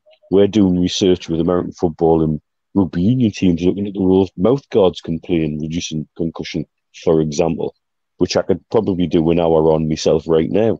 Um, and and so you, the, the, there's a lot of sports, a lot of contact sports, um, and a lot of non-contact sports you can't step onto a basketball court as a college player in the US without a mouth guard in at the moment, for example. And that's basketball. That's now like the, the impacts and the contacts that we get um, in, in in other games. It's serious. We need evidence. We need more research. We need a hell of a lot more evidence. Uh, that documentary which uh, Alan Shearer did um, shows the kind of research that's being done to gather the evidence. Because evidence is the key to this. We need the evidence about what's happening so we can make the right decisions to protect players going forward in the future. When you get the challenge with something like, for example, looking at the World uh, Cup winning 11. Yeah. Um, if you want to look at the evidence of things like that, um, as humans, we try and look for patterns. It's a natural human thing. And actually, patterns and clusters are part of true randomness. And and that's why you need the right studies. That's why you need the right studies to say, okay, is this just a cluster that's part of true randomness? Or is this um, something that's actually connected? If you remember the big hoo-ha a, a number of years ago about power lines and cluster cancers around power lines. And and once they actually did all the data and the research, it showed it was there wasn't actually much evidence that linked at all. Um, and a lot of these patterns were genuinely just part of true randomness. And that's why you need the data and the studies to get the statistics to do the analysis to say, okay, this this is what we should be doing. Um, minute you get authorities starting to get jumpy though, the way the rugby union uh, bodies got jumpy just before, not the last World Cup, but the World Cup before. And they were suddenly pulling players out of games and introducing concussion replacement protocols and protocols on the pitch. At the same time, we had a German player playing 40 minutes of a World Cup final where he didn't know his own bloody name or what day of the week it was. Um, and and this, these are the things that the game has to correct from on high. This is where people like uh, D'Hooghe, the FIFA medical um, body, have to come in and say, right, this is what we should be doing as a game. These are the things we should be looking at, and these are the things we should be introducing. Um, I get the concept of maybe removing heading from uh, below a certain age group, for example, but that would also tally with my thoughts about letting certain age groups play quick, small teams, one touch football, express yourself um, type of football that then produces better and more quality technical footballers in the way that Ajax have for years. For example, you know, I think you need to spend time going to see Ajax's academy and looking at what they do, and then then transfer that, and maybe look at at what age do you then start to introduce heading. I mean, as somebody who went through various systems at Wallsend with a nickname of 50 pence head, I'm not really somebody who should be talking about bloody heading the ball, to be fair. Um, mantelpiece head. Uh, exactly, you know. Um, so, you know, I, I, I get it. Um, but, you, you know, you, it, it's the kind of stuff we need so much more evidence and we need the game to be putting money into that not letting it drain away through agents and things like that to tie into other conversations we've had tonight. Yeah. Uh, don't don't say that my uh, designer John at qtechshop.co.uk lets the grass grow under his. There it is, head above the parapet t-shirt. Oh Christ! Uh, already sorted. Already sorted for the food bank after we've done after we've got the uh, after we have the winning bid on Monday for uh, for joining the dots. So there we go. Head above. that's great work, son. Uh, really good, mate. Uh, he's on the ball.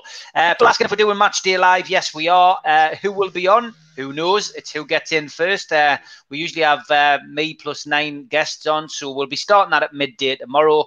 Um, midday, as I say, at uh, uh, we'll be talking talking through the game and uh, looking forward to that. It should be uh, it should be a really good should, should be a really good uh, afternoon, um, which will be spoilt no doubt by the football. Uh, but yeah, tune tune in. Change. Tune, tune, tune, in at twelve. Tune in at twelve o'clock for that. And I'm, I'm I am having a rare day off on Sunday, and as I say, I've already pre-recorded the interview with John Altman, so something a bit different talking about uh, EastEnders and uh, various other things, uh, stuff that he's involved in, and uh, a new album that he's done. So, uh, well worth tuning in for that. Um, it's a cracking interview, uh, about 45 minutes long. so, that gets me a day off on Sunday. Uh, predictions then, lads, for tomorrow's game. It'll be Steve. 2 0. Okay. Mitch. 3 0 Chelsea. 3 0 Chelsea. Okay. I'm going to go for Steve Bruce having a little bit of luck again tomorrow. Oh, I think there'll be I think there'll be goals in it. I'm going to go 2 2. John's going 3 3 2 to Newcastle. I'm going to go 2 2. Yeah, I think there'll be goals tomorrow. Whoa, Steve, where, where we're going to get two goals from? Two own goals from Chelsea. I, I hear the bottom of the barrel being scraped. yes. Yeah, Dear definitely. me. Yeah, He definitely, normally doesn't definitely. even predict on a Friday night. He's, he's changed his tune, you know. He's been on the drink this afternoon, I think. Just on water, lads, as always. Uh, anybody, somebody was asking where where they can get the uh, the calendar from for the food bank. It's from NewcastleLegends.com. So just type in NewcastleLegends.com. If you click the button tickets, it'll take you to the shop, and uh, that will essentially have our uh, mugs on. It'll have the calendars for the food bank, and it also has the t-shirts and the mugs as modelled by Daz. There you go. NUFC Matters mugs. Magic. Cracking, cracking mugs. Nice, uh, nice to have a cup of tea. A I cup, like a cup- yeah, no, did you see it? Did you see I, I it? thought that, I. All right, yeah, Martin. very- there you go. Brilliant. He did that deliberately. I don't know whether Martin's seen it yet, but I left it up a little bit longer there to see whether he'd seen it. And I'm pretty sure he, I'm pretty sure he did. But yeah, I'll be joined by the worldwide squad tomorrow for uh, match day live. As I say, that will be at 12 o'clock. So that should be, uh, should be a good day. As you know, all of this month we have been running our own little campaign, um, which is phone a friend, call a family member or a friend that you haven't spoken to for a while. And uh, yeah, a lot of people have uh, supported us with this. So please do pick up the phone tomorrow, give somebody a ring who you haven't spoken to for a while, make their day. As I say, we are all still in lockdown. Um, and uh, thanks to Steve Hasty, thanks to Mitch. We'll be back next Yes, sir. Friday. Great stuff, and we'll play out with the video. Take care, lads. Cheers, Okay. everyone. Good night.